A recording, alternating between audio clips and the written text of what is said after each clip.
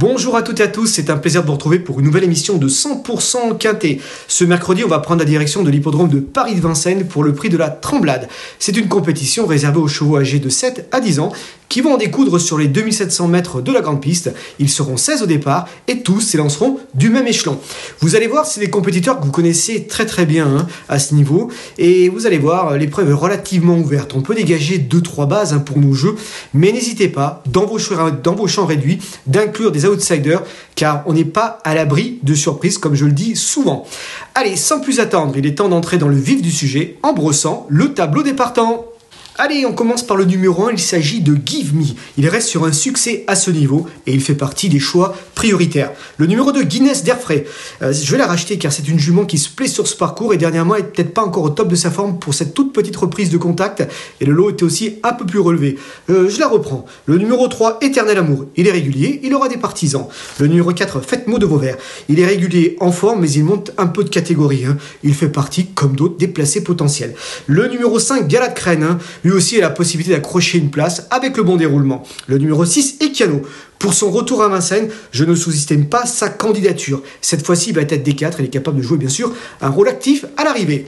Le numéro 7, Forban. Il n'a pas de marge de manœuvre, mais en faisant le petit parcours, il peut s'octroyer une petite place, car il aura pour lui d'être en forme. Le numéro 8, Espoir des Champs, c'est un outsider avant, le coup. En fonction du déroulement, il peut s'octroyer une petite place, à cote intéressante. Le numéro 9, Gamin des Perdries. Alors c'est vrai c'est a le niveau pour se distinguer dans ce genre de compétition, il affronter des lots supérieurs. C'est vrai qu'il a eu quelques petits problèmes de santé, comme a déclaré dans, nos colonnes son entraîneur, euh, son entraîneur. mais c'est vrai que je pense qu'il est capable de pouvoir se réhabiliter et d'effacer sa récente 11e place. Le numéro 10, Gilmour. Il vient de battre son record sur une distance sur un parcours plus réduit. Hein. Il est en forme, j'y crois. Je pense qu'il peut même lutter pour la victoire. Le numéro 11, c'est Gasoline Duceux. Elle a besoin de me rassurer avant le coup, je m'emballe pas. Le numéro 4, 12, pardon, Guardia. Elle vient d'effectuer une rentrée, hein, même une très très bonne rentrée, hein. et elle monte, elle est montée en condition sur cette candidate, sur cette sortie-là. Et pour moi, elle a le droit d'avoir des ambitions justifiées dans ce quintet. Le numéro 13, Fuego du Mortier. Je le préfère piste plate comme un où il a déjà gagné, mais une, petite place ne lui est pas non plus impossible avec le bon déroulement. Et Bec du Lupin, il peut intéresser les amateurs de champ réduit pour une cote. Le 15, Festa du Belver. Festa du Belver. Elle n'a pas été chanceuse dernièrement à au croiser la roche. Euh, l'engagement est bon, c'est peut-être le moment jamais de pouvoir renouer avec les bonnes performances. Hein. car l'engagement, comme je dis, est bon. Alors voilà, euh, je pense qu'une place est possible. Hein. Le numéro 16 d'Acero, c'est le concurrent le plus riche du lot. Euh, voilà, il est bien placé au plafond des gains. Je m'en méfie, hein, comme d'autres, pour, pour les places. Allez, il est temps de passer au papier.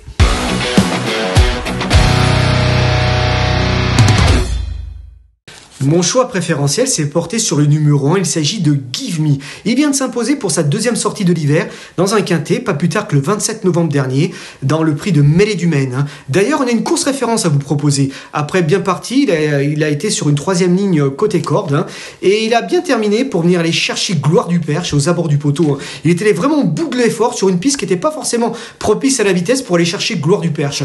Une performance relativement intéressante. D'ailleurs, on a également un autre concurrent qui le retrouve, c'est Gilmour qui a terminé 7 ce jour-là. Euh, était justement dans le dos du futur Laura Give Me sur une quatrième ligne côté corps. Il n'a pas pu le suivre à l'entrée de la ligne droite, mais quand même il a fait bonne contenance dans les derniers mètres. Hein. Je pense qu'il est capable de faire mieux. la performance est relativement intéressante hein, pour Give Me parce que c'est vrai que la, piste n'était pas forcément très très bonne. C'était allé vite hein, à la sortie de plaine jusqu'en haut de la montée. On était allé à des pointes 1-9, 1-10. Il y a eu quand même du rythme. C'était pas forcément simple, mais malgré tout, il a eu les ressources pour aller chercher gloire du perche. Euh, c'est vrai que c'est un, cheval qui a, lors de sa première sortie à Vincennes, c'était relativement intéressant parce qu'il terminait cinquième, pour moi, dans un lot mieux composé. Hein. Euh, il terminait cinquième de Hannibal Tuileries, de Hello Sport et de Half Seven. Vous prenez ces trois concurrents-là, vous les mettez dans celui-là, ils détiennent une première chance. Et ce jour-là, il marchait quand même une 12-9, ce qui est quand même un, bon chrono. Et en répétant un tel chrono et une telle performance, je crois qu'il est capable de lutter pour la victoire. C'est vrai qu'il n'a pas la marge de faire le tour des autres, mais en ayant un parcours limpide, un parcours, j'ai envie dire euh, fluide, je crois capable encore une nouvelle fois, comme ça a été le cas, de lutter pour la victoire. Alors il va être mené une nouvelle fois par euh, Johan Bourgeois, Yann Bourgeois qui connaît une réussite insolente au niveau quintet. Lors de ses 11 dernières sorties, il a triomphé à 5 reprises, ce qui est quand même pas mal, un taux de réussite relativement élevé, dont notamment dimanche dernier au sulky de Scott. Donc moi j'y crois, et je crois capable une nouvelle fois de jouer un bon rôle, au moins de terminer dans les trois premiers, et pourquoi pas lutter pour la victoire euh, pour, pour Give Me. Hein. Qui pour le contrer Alors je pense à, à Gilmour, le numéro 10. hein. Alors c'est vrai que euh, dans les- l'épreuve référence, il ne terminait que 7ème, entre guillemets. Voilà, il aurait peut-être pu mieux faire. Euh, mais dernièrement, il m'a quand même bien rassuré parce qu'il terminait deuxième à Vincennes d'un certain Eros Zola, un concurrent danois en retard de gain. Ce jour-là, il marchait dans l'excellente réduction de 1,17. Il battait son, euh, record de 2 dixièmes, un record qu'il avait établi, c'était il y a quelques mois de cela, je crois que c'était au mois d'avril ou mai, 1,19. Donc ça montre que le cheval est vraiment en forme. Et la performance, en ligne en dernier lieu, est également excellente. hein. Euh, donc j'y crois, je crois capable de pouvoir se réhabiliter, de lutter pourquoi pas pour la victoire, au moins sur le podium, et, pas sortir du quintet. Du moins, je l'espère. hein.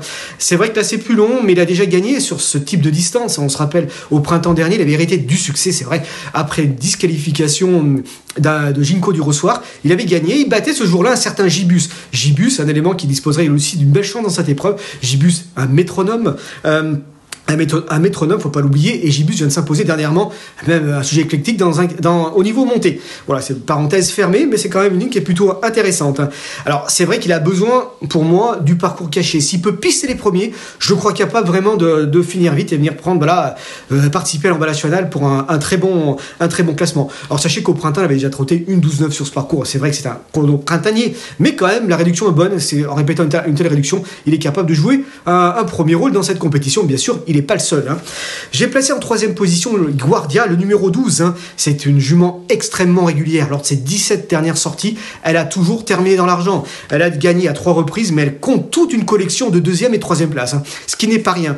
C'est quand même, euh, j'ai envie de dire, sa musique va frapper euh, évidemment les quintéistes qui ne vont pas s'interdire à l'inclure dans, dans leur jeu. Alors c'est vrai que dernièrement, elle m'a vraiment plu parce qu'elle n'avait pas couru depuis le mois de juillet et elle a terminé deuxième dans, euh, à ce niveau de compétition. C'était vraiment très très bien.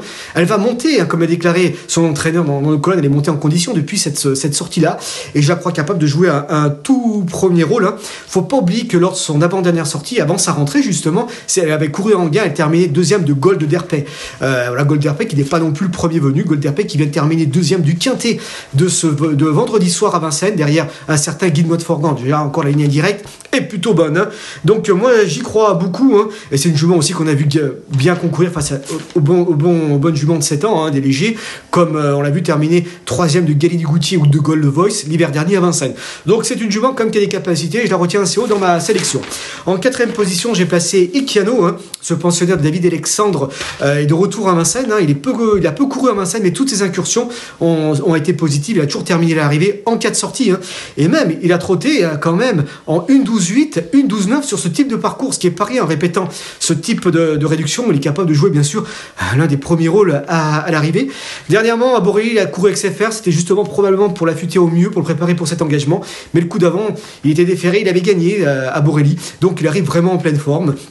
Et j'y crois beaucoup, hein, donc euh, il est capable de pouvoir jouer euh, lui aussi les premiers rôles. Vous voyez, il y en a plusieurs qui peuvent vraiment se distinguer. En cinquième position, j'ai placé le 7, Guin- le 2, pardon, Guinness d'Airfray.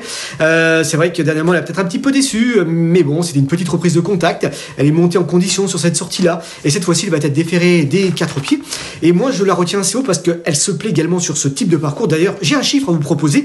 En 14 sorties, elle compte 4 victoires, 6 accessites et 2 places c'est quand même un taux de réussite de 86% à l'arrivée, ce qui n'est pas rien. Donc euh, je fais confiance à David Thomas. Je pense que l'entourage a préparé au mieux pour cette course. Il n'y a pas des chevaux étrangers, comme il l'a dit si justement dans notre euh, dans nos, dans nos colonnes également. Bah, c'est une des plus jeunes de l'épreuve. C'est voilà, l'engagement est plutôt intéressant, même si c'est pas la plus riche. hein.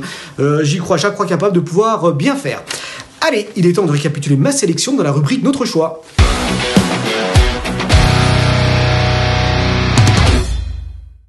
Allez, tout en haut de ma sélection, j'ai placé le Las Give Me, suivi du 10 Gilmour, suivi du 12 Guardia, suivi du 6 Ekiano, et le du 2, il s'agit de Guinness d'Airfray. Trois autres petits chevaux pour compléter une sélection en 8 avec pas mal de regrets, je ne vous cache pas. Vous pouvez les inclure dans vos champs réduits, peut-être même les, placer à proximité de vos bases. Il s'agit du 9 Gamin des Perdrix qui vaut bien sûr un lot de, ce genre. Le 15 euh, Fiesta du Belvert sur sa vraie valeur, elle a le droit aussi de disputer les premières places. Le 3 Éternel d'amour également un regret. Euh, sans oublier Dacero numéro 10, hein, voilà, un 9 cheval. hein. L'engagement est bon, on l'a vu quand même bien faire dans des bonnes catégories aussi celui-là, donc euh, attention à lui. hein. Un petit cheval du jour, on va vous proposer, on reste à Vincennes, c'est plutôt une petite pouliche, c'est le 3 310, c'est Lara Croft. C'est une jument qui est compliquée, mais sachez que c'est une jument quand même qui a des moyens et elle vaut pour moi, elle est capable de, briller dans un tel lot comme ça, briller un podium, pourquoi pas mieux? Tout sera une question de sagesse. Hein, voilà, donc euh, c'est pas un coup sûr, mais si elle décide de trotter, elle est capable de jouer pour moi un bon rôle à l'arrivée. Eh bien écoutez, euh, je vous remercie de votre fidélité. J'aurai le plaisir de vous retrouver très prochainement pour une nouvelle émission de 100% Quintet. Merci à vous d'avoir suivi cette vidéo. Alors pour vous abonner à notre chaîne YouTube, c'est ici. Et pour suivre encore plus de vidéos Paris Turf, c'est de ce côté.